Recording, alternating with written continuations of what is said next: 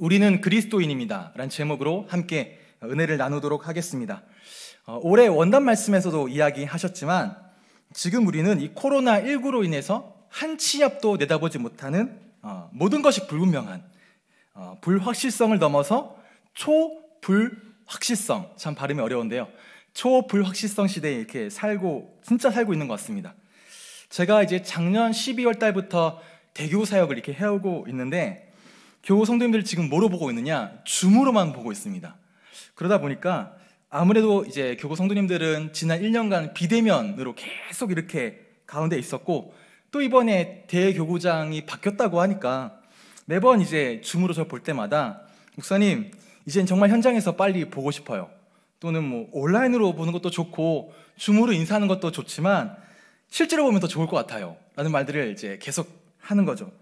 그런 말씀에 저는 이제 기대 반, 그리고 제 예측 반 해가지고 뭐라고 인사드리냐? 어, 우리 조만간 만날 수 있을 것 같아요.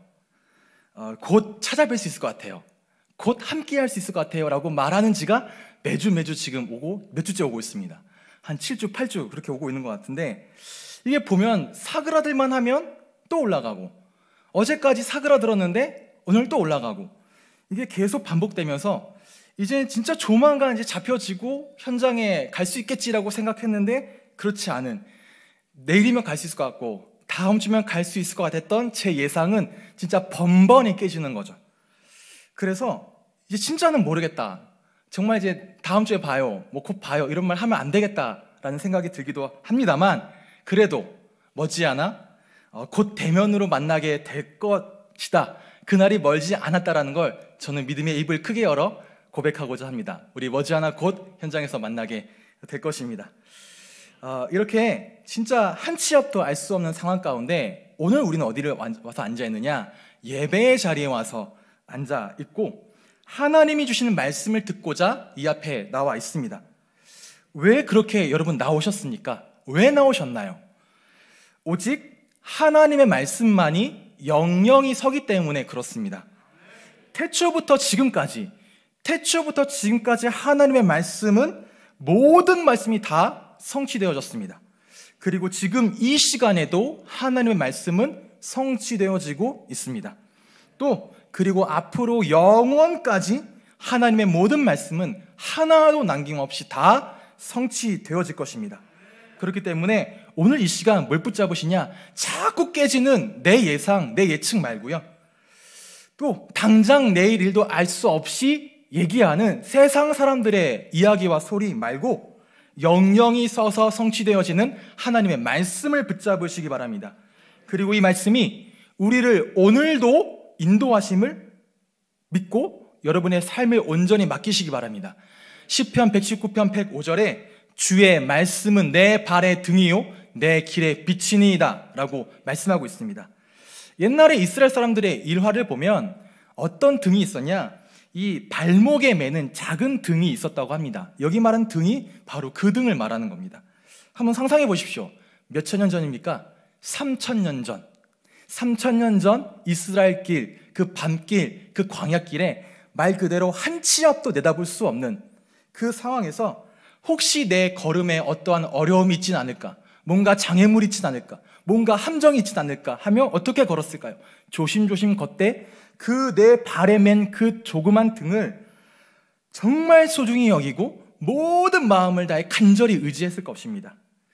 그렇게 우리가 하나님의 말씀을 뭐해라? 의지하고 전적으로 의지하고 나아갈 때 그 말씀은 반드시 우리가 어떻게 나아가야 되는지 그 방향과 그 기준을 우리에게 알려주며 우리가 하나님 앞에 온전히 설 수 있도록 도와주는 인도자가 된다라는 것입니다. 그렇다면 여러분 말씀을 통해 우리에게 주시는 기준이 무엇입니까?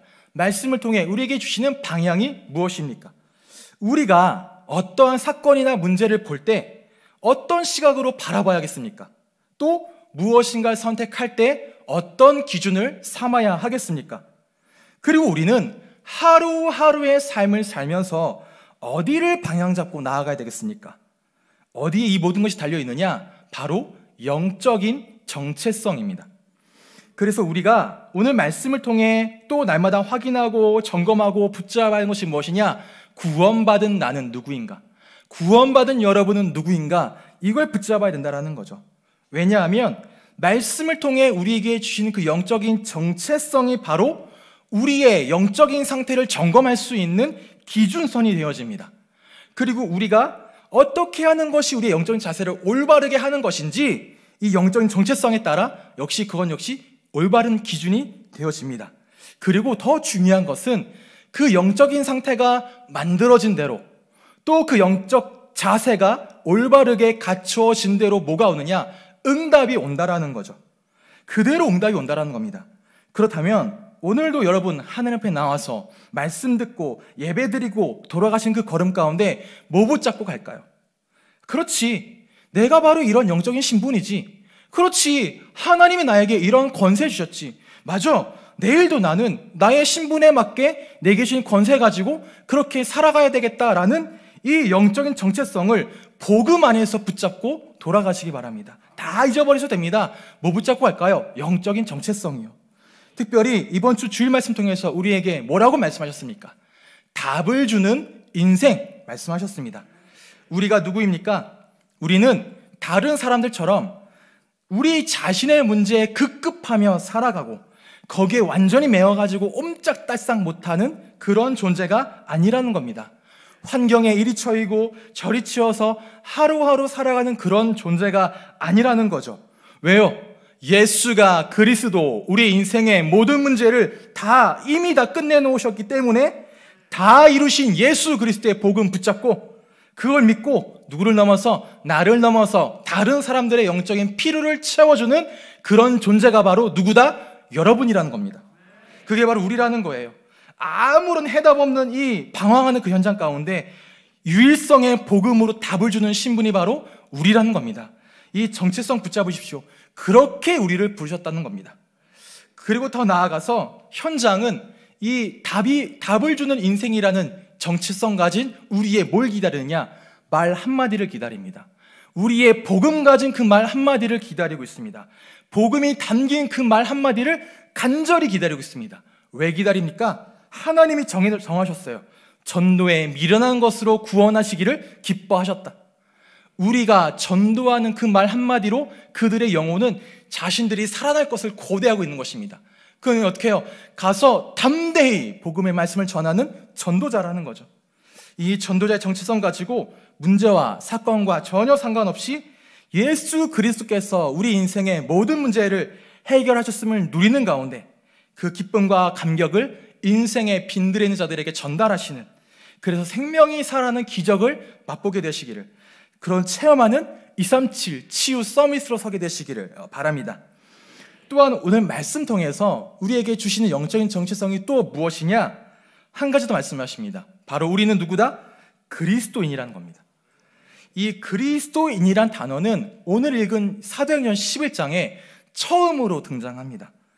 여기서 처음 나타나는데 그때 당시 이 바울과 바나바가 안디옥 교회 성도들을 1년간 가르치면서 그때 주위 사람들이 예수를 믿는 이 안디옥 교회 사람들을 보고 붙여준 별명이 바로 그리스도인이었습니다.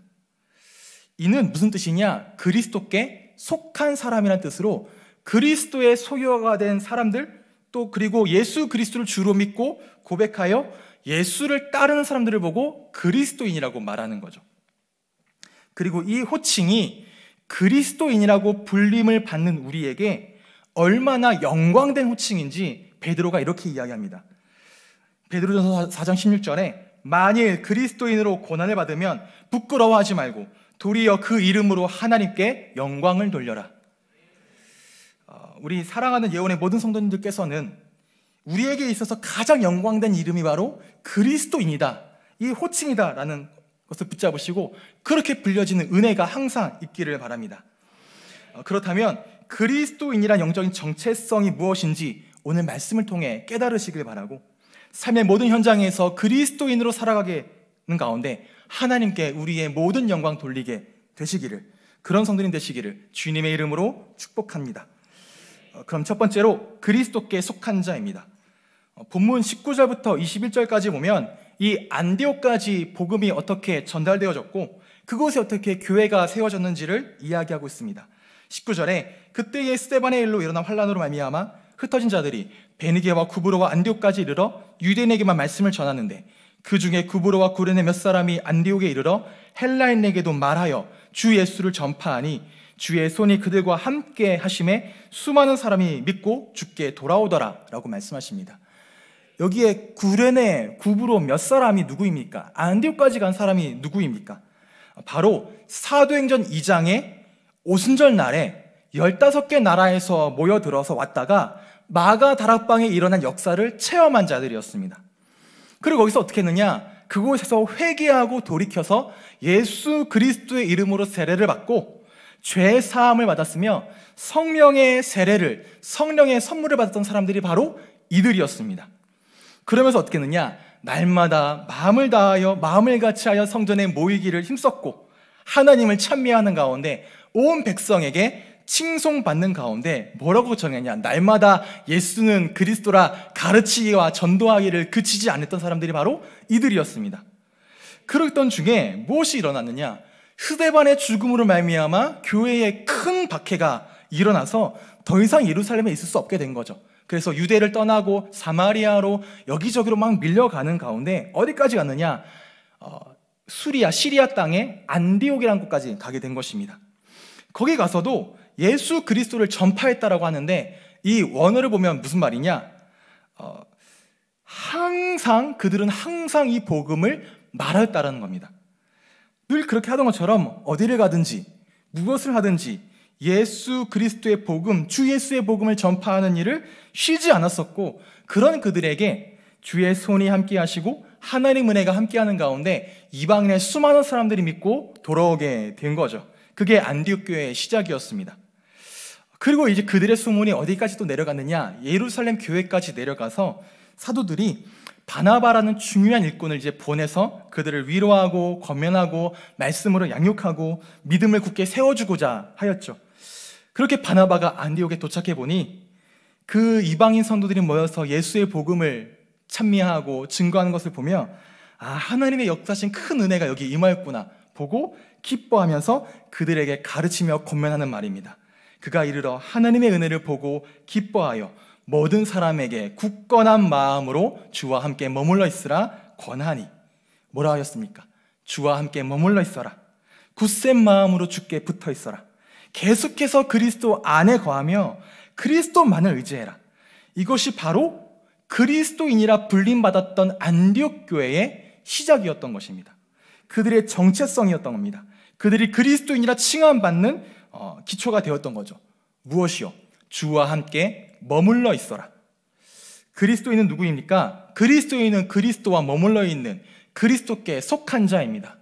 마치 가지가 포도나무에 붙어 있는 것처럼 그 붙어 있는 그 나무는 땅 속에 뿌리를 내리고 있는 것처럼 그리스도께 속하여 그 안에 머물러 있으면서 그리스도와 한, 함께 계속해서 함께 있는 사람이 바로 그리스도인이라는 거죠.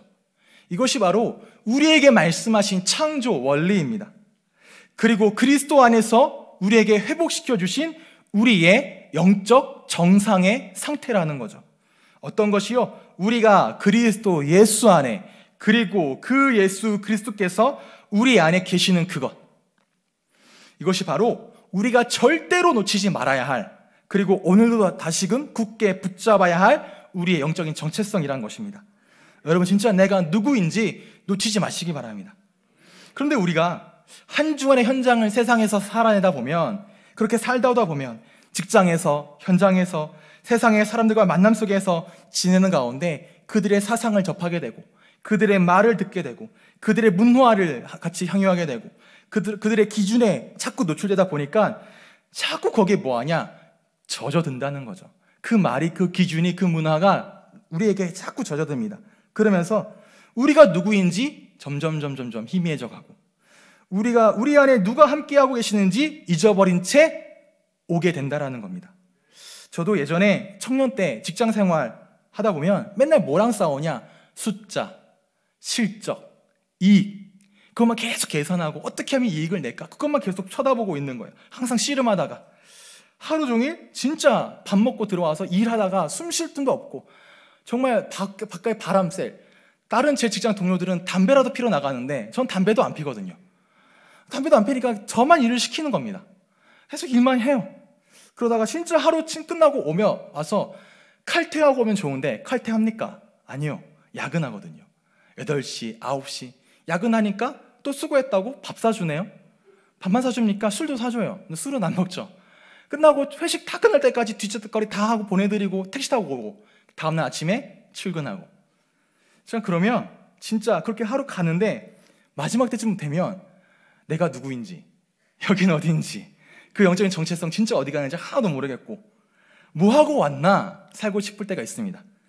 그래서 감사한 게 뭐냐? 하나님 기가 막히게 3일째 되는 날, 5일째 되는 날, 7일째 되는 날 예배를 허락하여 주신다라는 거죠. 그리고 또 뭐가 뭐 주시냐? 예배도 주십니까? 아니요. 우리 여기 공동체처럼 함께 신앙생활 할 수 있는 공동체. 지역에선 지역 모임, 사역자 모임, 구역 모임, 뭐 청년 대학들은 뭐 순모임, 훈련, 예배 여러 가지들이 계속 함께 공동체 속에 있을 수 있도록 하신다는 겁니다. 또 더 좋은 건 뭐냐? 저 땐 그렇지 않았어요. 그때 한 십 몇 년 전이니까. 지금은 어떠냐? 유튜브로, 줌으로 끊임없이 말씀을 접할 수 있고 어디서나 언제나 항상 말씀에 접속할 수 있는 그런 상황을 우리에게 주셨다라는 거죠. 그렇기 때문에 정말 말씀을 통해서 매일 말씀에 접속하셔서 뭘 들으시냐, 내가 누구인지, 이 그리스도인이라는 것을 붙잡으시기 바랍니다. 어, 오스왈드 챔버스 목사님이 계시는데 그 목사님이 이런 말을 하셨습니다. 그리스도인, 모든 그리스도인은 풀타임 사역자다. 여러분, 목사만 풀타임 사역자인 것 같으시죠? 어, 전도사님만 풀타임 사역자 같죠? 아니요. 여러분도 풀타임 사역자라는 겁니다. 무슨 말이냐? 그리스, 모든 그리스도인은 주일만 그리스도인이고 교회에서만 그리스도인이 아니란 겁니다. 우리는 세상에서도, 가정에서도, 학교에서도, 직장에서도 그리스도인이란 말이죠. 그렇기 때문에 우리가 선택할 수 없다라는 거예요. 어느 때는 신앙인처럼 살고, 어느 때는 그리스도인처럼 살다가, 또 어느 때는 불신자처럼 살 수가 없다라는 겁니다. 풀타임 그리스도인이기 때문에. 그러므로 어떻게 해야 될까요? 여러분, 세상이 말하는 여러분의 정체성 말고요. 여러분이 여러분에게 되새기는 여러분의 정체성 말고 말씀을 통해 확정하시는 여러분의 영적인 정체성을 붙잡으시기 바랍니다. 그럼 여러분은 누구입니까? 우리는 예수를 그리스도라, 예수가 우리의 주인이다라고 고백하고 믿고 영접한 자들입니다. 그런 자들에게 예수 그리스도께서 우리와 영원히 함께 하시며 우리는 그리스도 안에서 그리스도와 더불어 함께 한다라는 거죠. 요한계시록 3장 10절에 볼지어다 내가 문 밖에 서서 두드리노니 누구 마음을요 교, 교회된 여러분의 마음을 문 밖에 서서 두드리노니 누구든지 내 음성을 듣고 나를 영접한 자는 내가 그에게로 들어가 그와 더불어 먹고 그는 나와 더불어 먹으리라 우리는 어떤 존재입니까? 그리스도와 함께 더불어 먹고 예수님은 우리와 함께 더불어 먹는 그 기쁨의 교제가 그 생명의 축제가 지금 우리 안에서 여러분 안에서 끊임없이 이루어지고 있다는 것입니다. 그래서 예수님 안에 있는 풍성한 그 생명과 기쁨과 평안과 감사가 끊임없이 여러분에게 공급되고 있다는 거예요. 그리고 그 예수 그리스도가 함께하는 곳이 어디입니까? 내 주 예수 모신 곳이 그 어디나 하나님 나라, 하늘 나라. 여러분 그곳에 그 자리에 하나님의 나라가 임하였다라는 거죠. 우리에게 임한 그 하나님의 나라로 인해서 뭐와 연결되어지니까 237 영적 통신망이 저 보좌의 배경, 보좌의 축복과 항상 연결되어져 있다는 사실을 놓치지 마시기 바랍니다. 이게 무슨 말입니까? 그래서 지금도 우리에게 눈에 보이게 또는 눈에 보이지 않게 하나님의 뜻과 계획이 그리고 하나님의 말씀이 계속해서 성취되어지고 있다라는 거예요. 그리고 약속하신 대로 하나님의 풍성하심으로 우리를 날마다 채우시며 친히 돌보시는 것이 바로 그의 나라입니다. 그리고 이 모든 말씀의 보장으로 이 모든 말씀의 약속으로 여러분에게 무엇을 주셨습니까? 성령으로 인을 치셨다라는 거예요. 보증으로 성령을 주셨다라는 겁니다. 이 성령은 우리와 함께 하시되 영원히 함께 하시며 오늘도 우리를 어떻게 해요? 완전하게, 완벽하게, 온전하게 인도하고 계신다는 겁니다. 이 삼오직의 결국이 무엇입니까? 로마서 5장 11절에 그뿐 아니라 이제 우리로 화목하게 하신 주, 우리 주 예수 그리스도로 말미암아 하나님 안에서 또한 즐거워하느니라. 그리스도로 말미암아 누구 안에서요? 하나님 안에서 하나님과 함께 하게 되었다. 결국 창세기 1장 27절과 28절에 약속하신 그 근원의 모든 것이 여러분 안에 이미 회복되어져 즐거워하고 기뻐하고 있다라는 것입니다. 그렇다면 믿으시기 바랍니다. 믿으십시오. 하나님의 말씀을 믿으시고 하나님의 약속을 믿으시기 바랍니다. 이 말씀이 우리에게 약속하신 하나님의 약속이고 그리스도 예수 안에서 우리에게 주신 것이고 이미 우리와 함께 하고 있는 것이며 영원토록 변하지 않는 우리의 정체성이자 우리의 언약이라는 것입니다. 때로는 여러분 환경과 상황 때문에 지치고 무너지는 듯한 여러분의 마음의 상태에 흔들리지 마시기 바랍니다. 흔들리지 마시고 하나님의 말씀을 믿으십시오. 지치고 고대서 주저앉고 싶어지는 몸의 컨디션, 육신의 컨디션에 흔들리지 마시고요. 하나님의 약속을 붙잡으시기 바랍니다. 감정은 업다운합니다. 굴곡이 있습니다. 오늘 다르고 내일 다르고 이따가 또 다릅니다. 그 굴곡 때문에 마치 여러분 영적인 힘이 없는 것처럼 느껴지는 그 느낌 들 겁니다. 그 느낌에 속지 마시고요. 믿음의 주요 또 온전하게 하시는 이인 예수 그리스도만 바라보시고 붙잡으시기 바랍니다. 우리는 자꾸 뭐 하려고 그러냐? 다른 것 붙잡으려고 해요. 자꾸 틀린 거 붙잡으려고 합니다. 자꾸 실패할 거 붙잡으려고 합니다. 그러지 마시고요. 올바른 것 붙잡으시기 바랍니다. 무엇이 올바른 것입니까? 아, 나는 원래 이래. 원래 나는 이렇게 연약해. 원래 나는 이렇게 부족해. 아, 너는 원래 그랬어. 너 원래 그 정도야. 라고 말하는 여러분의 모든 말, 세상 사람들의 모든 말에 귀 기울이지 마시고요. 오늘도 여러분에게 너는 나의 존귀한 나의 자녀다. 너는 나의 약속의 자녀다. 너는 나의 형상 닮은 나의 아름다운 존재다라고 말씀하시는 하나님의 말씀에 귀를 기울이시기 바랍니다. 능력도 없습니까? 배경도 없습니까? 경험도 없습니까? 그마저 자신감도 어디 갔습니까? 그거 말고요. 그것 같은 나 바라보지 마시고 237 보호자의 축복과 권세로 함께 하시는 하나님의 나라를 바라보시기 바랍니다. 내 상처, 내 문제, 내 걱정, 절대 해결되지 않습니다. 거기에 얽매이지 마십시오. 거기에 자꾸 눈 돌리지 마십시오. 뭐에 얽매일까요? 뭐에 매여 살아갈까요? 오늘도 우리에게 다 이루었다라고 선포하시는 모든 문제 해결자 대신 예수 그리스도께 완전히 매여지시기 바랍니다. 이게 올바른 겁니다. 이것이 바로 우리가 붙잡아야 될 올바른 것입니다. 우리의 그 어떤 상황과 상관없이 우리의 환경과 상관없이 우리의 그 어떤 상태와도 상관없이 예수님은 그리스도가 되셨습니다. 그리고 그 그리스도는 이미 우리 안에 영원히 거하고 계십니다. 그리고 그 그리스도와 함께 하나님의 나라는 이미 우리의 모든 걸음 가운데 임하였으며 그 성령은 지금부터 영원까지 우리와 함께 하시는 우리의 보혜사 되십니다. 이것이 바로 우리에게 약속하신 바라는 거죠. 그렇기 때문에 뭐 하십니까? 약속 붙잡고 누리십시오. 약속 붙잡고 믿으십시오. 약속 붙잡고 고백하십시오. 어떻게 누릴까요? 에베소 3장 20절에 우리 가운데서 역사하시는 능력대로 우리가 구하거나 생각하는 모든 것에 더 넘치도록 능히 하실 이에게 라고 말씀하십니다. 약속 붙잡고 고백하십시오. 그리스도의 완전하심, 그리스도의 충분하심, 그리스도의 모든 것 되어지심 고백하시기 바랍니다. 이미 이 모든 것이 나에게 주신 것임을 알고 믿음의 입, 기도의 입을 날마다 크게 여시기 바랍니다. 저 역시 항상 고백하는 바입니다. 오늘도 나에게 그리스도는 완전하고 충분하며 나의 모든 것 되십니다. 아침마다, 밤마다, 시간마다 고백하는 바입니다. 제가 제 아기에게도 항상 고백하게 만드는 말이 뭐냐? 제가 항상 어린이집 등원시켜 주거든요. 내리기 전에 딱 그 문 앞에서 앉고 아, 고백하게 해요. 서유라, 너는 누구? 하면 고백합니다. 하나님 자녀. 그래, 서유라. 그럼 예수님이 너와? 하면 함께라고 고백해요. 마지막으로 서유라, 너는 시대 살릴 하면 remnant 그럽니다. 이 세 가지 뭐요? 영적 정체성. 여러분도 항상 여러분들 가운데 뭐를요? 영적 정체성. 여러분의 입술을 통해 날마다 고백하십시오. 그것이 하루에 세 번이든 무시로든 계속 고백하시기 바랍니다. 그때에 어떻게 하십니까? 우리의 모든 것에 더욱 넘치도록 하시는 그리스도를 체험하게 되시기를 주님의 이름으로 축복합니다. 그럼 두 번째로 그리스도를 따르는 자입니다. 어, 19, 19장 25절에서 26절에 보면 바나바 바울이 안디옥교회 성도들을 1년간 어, 가르치는 가운데 그들을 이제 제자로 삼았다라는 표현이 있습니다. 무엇을 가르쳤을까요?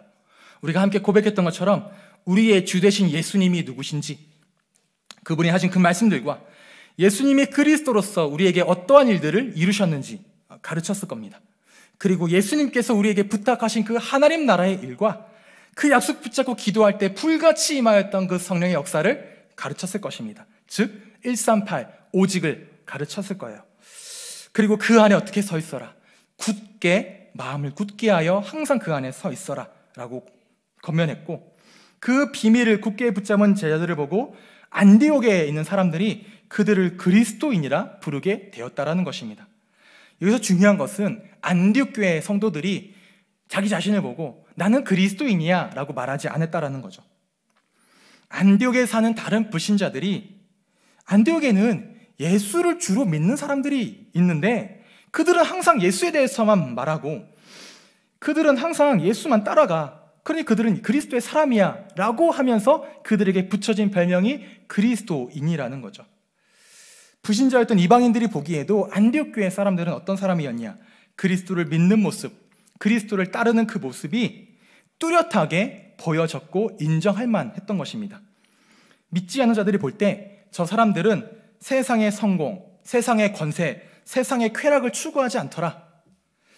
오직 예수님만 따라보고 하나님의 나라를 바라보고 그 나라가 이 땅에 임하기를 추구하며 예수 그리스도를 닮기 위해 줄기차게 노력하며 예수 그리스도의 영광만 드러나기를 바라는 그런 사람들이었구나 라고 믿지 않는 사람들이 붙여진 별명이 바로 그리스도인이라는 거죠. 그래서 그리스도인이라 불려지는 것은 엄밀히 말하면 내가 나를 보고 나는 그리스도인이냐라고 하는 것도 있겠지만 믿지 않는 자들이 나의 생활, 나의 말, 나의 가치관, 내가 추구하는 것을 보고 우리에게 불러주는 칭호라는 것입니다. 근데 그 사람들은 어떻게 우리에게 우리를 보고 그리스도인이라고 부르냐? 너희는 왜 세상과 다르게 살아가냐? 너희는 왜 세상과 기준에 따르지 않냐? 라고 말하는 일종의 야유, 일종의 조롱처럼 너희는 그리스도인이구나 라고 말합니다. 그런데 그 말이 우리에게는 우리의 믿음을 인정받고 우리의 삶을 인정받는 일종의 칭찬이자 하나님 앞에서 우리의 묘가 되냐 증거, 표증, 표지가 되어진다는 것입니다. 그렇다면 이 땅에서 어떻게 살아갈까요? 마땅히 그리스도인이나 불리움을 받도록 살아가시기 바랍니다. 우리의 삶을 통해, 우리의 말을 통해, 우리의 행동을 통해, 우리의 가치관을 통해 우리는 그리스도를 따르는 자들이라는 것을 분명히 보여주시기 바랍니다. 그래야 알게 됩니다. 누가? 세상이, 세상이 그래야 예수 그리스도를 알게 되고 바라보게 됩니다. 마태복음 5장 16절에 이같이 너희 빛이 사람들의 앞에 비치게 하여 그들로 너희 착한 행실을 보고 하나님 아버지께 영광을 돌리게 하라. 하나님은 중심 보시지만 사람들은 외모를 보죠.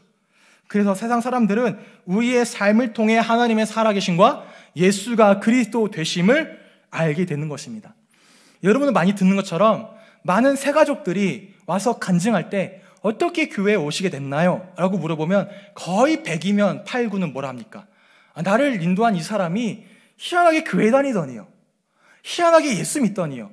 원래는 안 그랬는데, 원래는 달랐는데, 사람 참 바뀌더니, 나한테 같이 교회 가자고 해서 오게 됐습니다. 바뀐 사람을 보고 오게 됐습니다. 뭘 보고 왔다고요? 바뀌어진 모습을 보고 오게 됐다라는 말들을 참 많이 듣게 되죠. 미국의 유명한 전도자인 디엘 무디 목사님이 이런 말씀하셨습니다. 세상에 100명의 사람이 있다라고 가정한다면 그 중에 한 명은 성경을 읽고 나머지 99명은 성경을 읽는 그 그리스도인을 읽는다. 무슨 말입니까?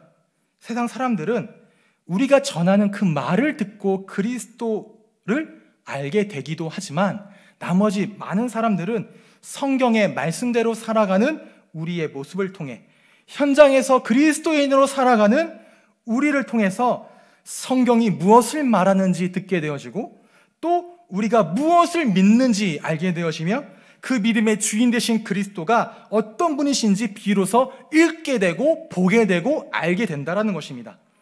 그래서 우리는 어떻게 살아야 하니까 제가 참 들으면서 계속 묵상되어지는 단어였는데요. 우리는 세상에서 진열장으로 살아야 됩니다.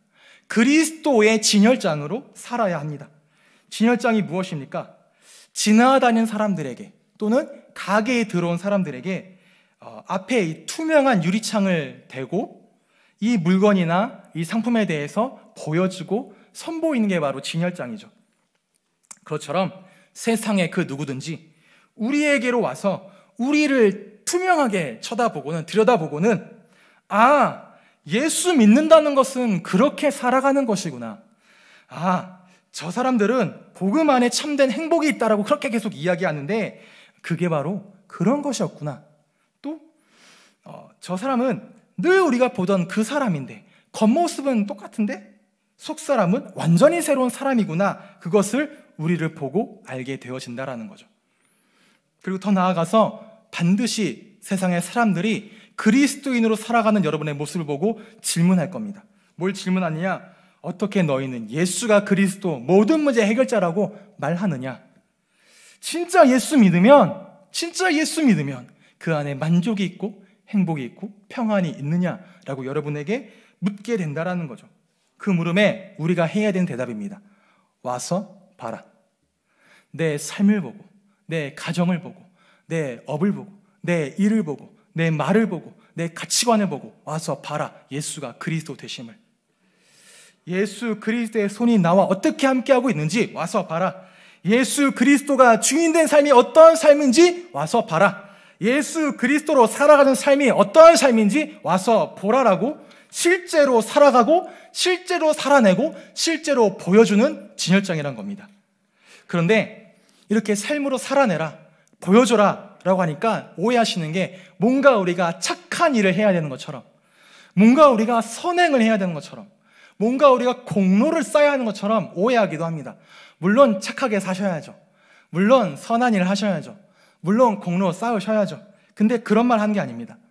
로마서 14장 8절에 우리가 살아도 주를 위하여 살고 죽어도 주를 위하여 죽나니 그러므로 사나 죽으나 우리는 주의 것이로소이다. 사나 죽으나 우리는 예수님께 속한 예수 그리스도의 것으로 누구를 닮아가라. 예수님을 닮아가라는 거예요. 인도의 그 간디라고 하는 유명한 사람이 이런 말을 했다고 합니다. 자기는 그리스도는 인정한다. 존경한다. 그런데 그리스도인들은 인정하지 못한다라는 거예요. 왜 이렇게 말했느냐? 그리스도인들이 그리스도를 믿는다고 하면서 조금도 그리스도는 닮으려고 하지 않는 것을 나는 이상하게 생각한다라는 거죠. 여러분, 닮아가시기 바랍니다. 예수님을 닮아가시기 바랍니다. 예수님께서 세상을 이처럼 사랑하사 가장 높은 곳을 버리고 가장 낮은 십자가 지시기까지 낮아지셨던 것처럼 우리 역시 그렇게 예수님의 사랑과 예수님의 긍휼을 날마다 닮아가는 것. 예수님께서 만물을 다스리던 그 자리에서 모든 것을 섬기는 그 자리로 가셨던 것처럼 여러분은 마땅히 모든 사람을 섬기는 그 자리로 가는 것입니다. 예수님께서는 완전한 자, 부한 자, 능력 있는 자와도 함께 하셨지만 그것보다도 영적으로 아픈 자, 영적으로 병든 자, 이스라엘의 잃어버린 영혼에게로 가서 거기서 거하셨던 것처럼 우리 역시 그리로 가는 것입니다. 하나님 아버지의 마음이라는 그 찬양 가사에 보면 아버지의 마음이 있는 곳에 나의 마음이 있기를. 아버지의 눈물이 고인 곳에 나의 눈물이 있기를. 그래서 예수님이 바라보시는 그곳에 우리의 두 눈이 향하고 예수님이 서 계신 그 참혹한 땅에 나의 두 발이 있기를 원합니다라고 이 목사님이 고백하시죠. 그때에 우리가 그렇게 예수님을 닮아가고 예수님으로처럼 살아갈 때 세상은 그리스도인으로 살아가는 우리의 삶을 통해 반드시 변화되어질 것입니다. 우리를 만나는 모든 사람은 반드시 살아날 것입니다. 왜냐? 오늘도 우리를 그리스도인으로 살게 하시는 그 예수 그리스도는 오늘도 영원히 온 세상 만물의 구원자가 되시기 때문에 그렇습니다. 어, 요한복음 4장에 보면 삶에 찾아온 여러 가지 문제에 치이고 누구에게 말도 꺼내지 못하는 그 고민과 갈등 속에 있었던 한 여자가 나오죠. 그 여자가 어느 날 갑자기 자기에게 찾아오신 예수란 한 사내를 만나고 그로부터 참된 해답을 얻고 그리스도가 아니냐라고 고백하게 됩니다. 그리고 나서 뭘 버립니까? 자기의 삶의 전부였던 물동이를 던져버리고 마을로 달려가서 말하는 거예요. 내게 요한복음 4장 29절에 내게 행한 모든 일을 내게 말한 사람을 와서 봐라. 이는 그리스도가 아니냐 하니 이는 그리스도가 아니냐 하니 그 말을 듣고 사마리아에 있는 모든 동네 사람들이 예수님께 나온 거예요. 나와서 예수님과 함께하며 그 말씀을 듣고 난 다음에 그들이 하는 고백입니다. 42절에 그 여자에게 말하되 이제 우리가 믿는 것은 내 말로 인함이 아니니 이는 우리가 친히 듣고 그가 참으로 세상의 구주신 줄 알미라 하였더라. 이제 우리가 알았다. 예수가 세상의 구주심을. 예수님은 참으로 세상의 구주가 되십니다. 예수는 참으로 모든 인류의 구원자가 되십니다. 예수는 지금도 우리 모든 인류의 그리스도가 되십니다. 그렇기 때문에 오늘도 우리는 우리의 모든 삶을 통해서 만남을 통해서 현장 가운데 예수 그리스도를 나타내십시오. 예수가 세상의 구주 되심을 보여주시기 바랍니다. 그러한 그리스도인 되시기를 주님의 이름으로 축복합니다. 어, 결론입니다. 어, 저는 항상 이런 설교를 준비하고 묵상하고 이런 메시지를 정리하다 보면 저는 그렇더라고요. 저는 제 마음속에 항상 이런 질문 듭니다. 아니, 왜 이렇게까지 해야 될까? 이렇게까지 그리스도인으로 살아가야 될까? 그냥 뭐 좋은 게 좋은 거, 그렇게 그렇게 살고 그냥 저냥 살면 안 될까? 편하게 살면 안 될까? 저는 항상 그런 질문 들더라고요. 여러분은 안 드시죠? 저는 듭니다. 진짜 할 게 치열하게 살아야 돼? 라는 것들. 근데 그때마다 저에게 하시는 고백이 무엇이었냐? 제가 이 설교를 묵상하다가 마지막에 썼던 고백이었는데 예수 그리스도께서 나에게 최선을 다하셨듯이 나 역시 그리스도께 최선을 다하여 예수 그리스도께서 십자가에 죽기까지 나를 사랑하사 모든 물과 피를 다 쏟기까지 나에게 하나님의 구원의 계획을 최선을 다하여 이루셨습니다. 그리고 그 그리스도께서는 무덤에 머물러 가만히 계셨어도 됐었을 텐데 그러지 않으시고 모든 사망과 저주를 친히 꺾고 부활하사 지금 나에게로 오셔서 나를 찾아오시고 나를 구원하셨습니다. 그리고 영원토록 내 안에서 일하사 하나님의 구원의 모든 말씀을 열심을 다하여 이루어 가신다면 나 역시 오늘 부족할지라도 오늘도 그리스도인으로 살아가야 되겠구나. 그렇게 해서 그 하나님의 크신 은혜에 조금이라도 조금이라도 나의 삶을 드릴 수 있다면 그거면 됐다. 라는 고백을 하게 되더라고요. 제가 좋아하는 찬양 중에 깊어진 삶을 죽게란 마커스 팀의 찬양이 있습니다.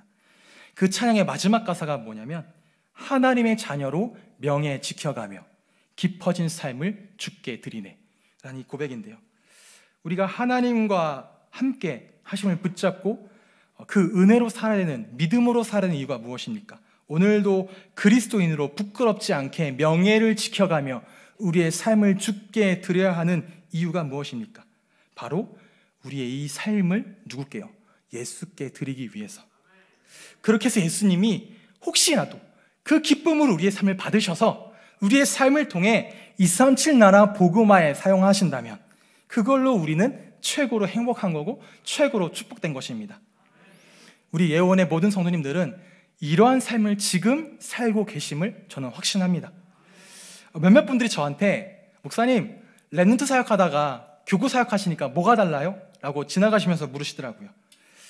그, 뭐, 뭐가 다르겠습니까? 똑같죠. 뭐 어딜 가든지, 레노트를 만나든, 뭐 성도님을 만나든, 복음 전하는 사역이니까 똑같은데, 아무래도 교구에서 만나 뵙게 되는 그 성도님들의 삶이 랩런트들의 어떤 삶보다 조금 더 치열하고, 조금 더 실제적이고, 조금 더 현실적이다라고 할 수 있겠죠.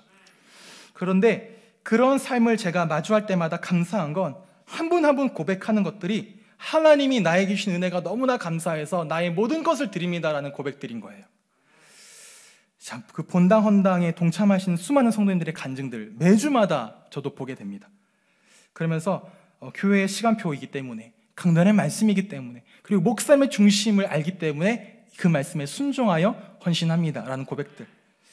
또는 어떤 한 권사님은 어, 새로운 인생의 삶을 사는 것이 너무나 감사해서 앞으로 나의 모든 삶을 하나님께 드리겠습니다. 라며 참여, 동참하시는 권사님도 계셨고 또 어떤 분은 아직 신앙생활 제대로 하지 못하는 그 자녀들을 보면서 이들이 반드시 돌아오게 될 것을 믿음으로 미리 고백하면서 미리 드리는 그런 것들도 봤습니다. 본당 헌당뿐만이 아니라 1일 교회와 응답에 어떻게 해서든 동참하려고 세 가족은 세 가족 계속 더 마음을 담아서 동참하려고 하시는 것들 훈련의 자리에 또 우리 작년에 보았던 것처럼 237 선교 여정에 어떻게 교회가 동참했는지 볼 때마다 알잖아요. 뻔히 이분의 상황 아는데 뻔히 이분의 현실 아는데 뻔히 이분의 상태와 그 경제 모르지 않는데 그 고백의 무게감이 저한테 너무나 다르게 느껴지고 너무나 무겁게 다가오고 그 중심을 마주할 때마다 그 간증 듣는 저 역시 제 마음에 감사가 넘쳐난다면 이런 모습들이 안디옥 교회 성도들처럼 여러분 역시 그리스도인이라 칭함받는 삶의 모습이라 저는 확신합니다. 그리고 우리 모두 그런 이러한 그리스도인이 되시기를 기도합니다. 특별히 내일부터 설 연휴가 시작되어집니다. 비록 이제 전국적으로 5인 이상 모임 금지라서 어, 직계 가족이라 하더라도 모이기가 쉽지 않죠. 어떤 한 장로님이 설 인사를 저한테 전화 오시면서 어, 어떻게 이번에 가족들을 오나요? 라고 물어봤더니 오지 말라고 했다고 하시더라고요. 그러면서 아, 뭐 오면 감사하고 오지 않아도 어쩔 수 없고 하시는데 그 마음속에 그래도 그래도 비록 법에는 어떻게 될지 모르겠지만 그래도라는 것들을 얘기하시더라고요. 이전 같으면 우리 마음에 가서 영적 싸움도 막 싸우고 어, 흑암도 꺾고 오랜만에 만난 친지, 친척, 언니, 오빠들들에게 복음 선포하고 할 텐데 어, 모이기 어려운 상황입니다. 그런다 하더라도 우리는 전 세계로 연결되어지는 237 영적 통신망의 영적 파수꾼입니다. 이걸 붙잡으시고 잊지 마시기 바랍니다. 설 명절 속에서 그리스도인이란 영적인 정체성을 가지고 기도로 영적 싸움을 싸우시며 주의 수를 믿으라. 그리하면 너와 내 집이 구원을 받으리라라고 약속하신 그 약속 붙잡고 믿음으로 복음을 미리 선포하시기 바랍니다. 현장을 향해 가족을 향해 친지를 향해 복음을 미리 선포하시고 미리 응답 받으시기 바랍니다. 그렇게 해서 우리의 모든 현장마다 그리스도인으로 선한 영향력을 입혀나가는 하나님 나라의 확장의 주역 되시기를 주님의 이름으로 축복합니다.